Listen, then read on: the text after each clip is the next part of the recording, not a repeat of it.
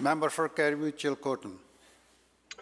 Thank you, Mr. Speaker. In a recent speech, I saluted charities throughout the Cariboo Chilcotin that have risen above the challenges of COVID-19.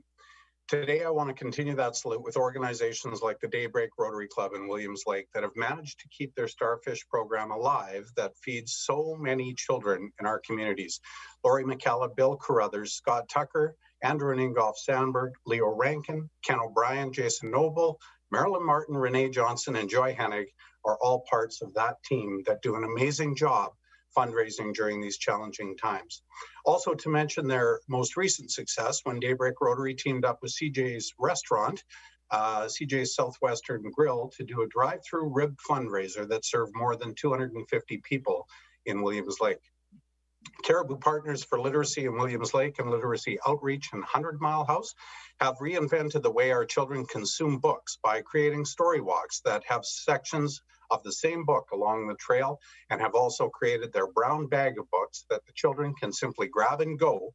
And they have kindly included some of our legislative coloring books in those bags as well.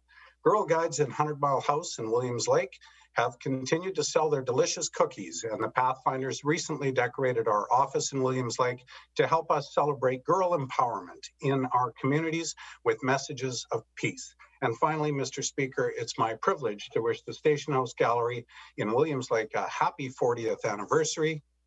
This little gallery is such a fantastic part of our community and continues to carefully, of course, continue the tradition of allowing us to enjoy their art in their displays. Congratulations to all of our volunteers who have been so clever in continuing to do such great work for all of our communities and of course making our communities a great place to live, work and play.